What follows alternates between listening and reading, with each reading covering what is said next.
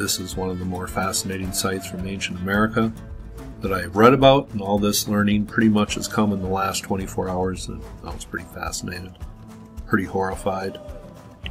We're going to go down to Detroit, Michigan, look at some truly lost history here.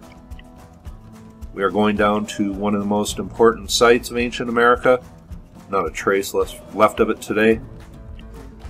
Here we are down on Google Earth, just off Jefferson Avenue up here, and in this exact area, a couple thousand years ago, there was a great earthen pyramid here, and it stretched over into this parking lot over here. Today, nothing remains, and this pyramid came out into this area. It was over two football fields long, but this is the site in the Delray neighborhood in Detroit where a massive earthen pyramid once stood, and it wasn't alone. And this is one area that is built right over the remains, more than likely, of many skeletons from this lost race, this mound builders group, or whatever you want to call it. I believe today still remains are right under the earth here. Now here is that area from overhead where this earthen pyramid once stood. It was right in the middle of the screen here, just off of Jefferson Avenue. And this is the Rouge River here. Now I will leave a few links below, but here is the map. And these were called the Spring Well Mound Group. And there was mounds spread up quite a ways up the river here, but here is that main mound the area I showed you, Google Earth. But what I'm learning about ancient America, it wasn't white settlers who settled a lot of these towns in ancient America.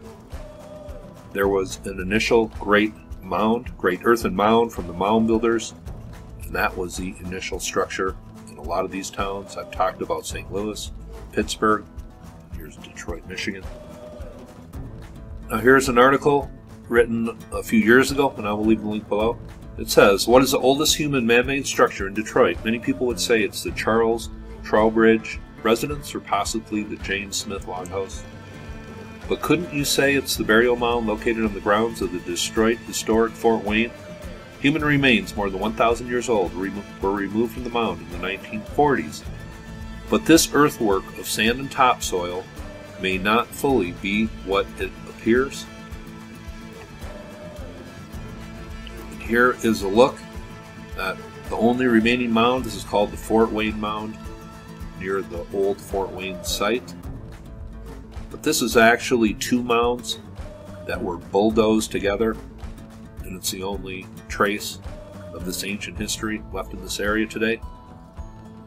It says the monument at Fort Wayne was not alone. Before the 19th century, it was only one of several burial mounds built on a large sand hill that used to lie just north of the confluence of the Detroit and the Rouge rivers. The hill was about 300 yards wide, nearly three quarters of a mile long, and rose 20 feet above the shore. The French called this area Belle Fontaine because of the abundant freshwater springs that gushed from the side of the hill. The British called it Spring Wells. The name was retained by the Americans when the area was incorporated as the Spring Wells Township in 1818. At least three burial mounds were built on the sand hill at Spring Wells. Farthest to the southwest was the Fort Wayne Mound. On the northeast end was the Copper Works Mound, so called because it was adjacent to a copper smelting operation. It says northwest of the Great Sand Hill was Carson's Mound, also called the Circular Mound. Says southwest of the Sand Hill was a mysterious circular enclosure called the Spring Wells Earthwork. Near the north bank of the Rouge River, about one half mile from the shore of the Detroit River, was the Great Mound of River Rouge. Here's a diagram of a massive circular earthwork located where Detroit is located now today, very near the mound site. This is just southwest of the mound site, and I am assuming it's on this what is called Zug Island here. I think that is where it is located today. Today, obviously, be much different than it did a couple thousand years ago.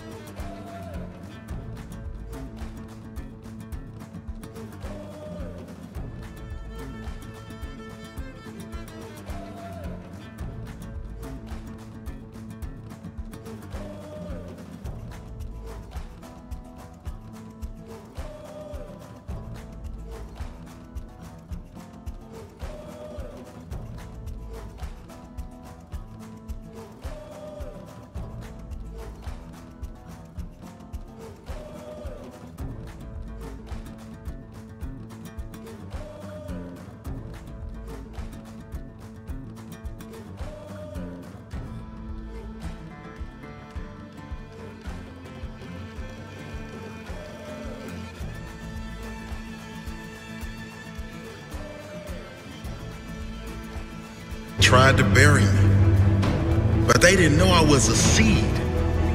You can't bury a seed.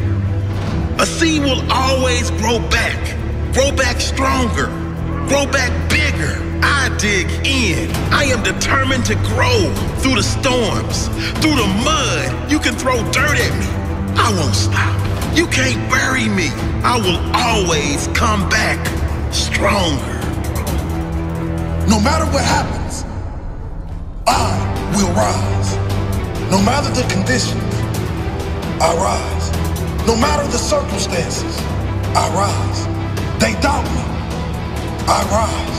They reject me. I rise. No matter what happens, I rise. No matter the conditions, I rise. No matter the circumstances, I rise. They doubt me. I rise. They reject me. I rise. No matter what happens, I will rise.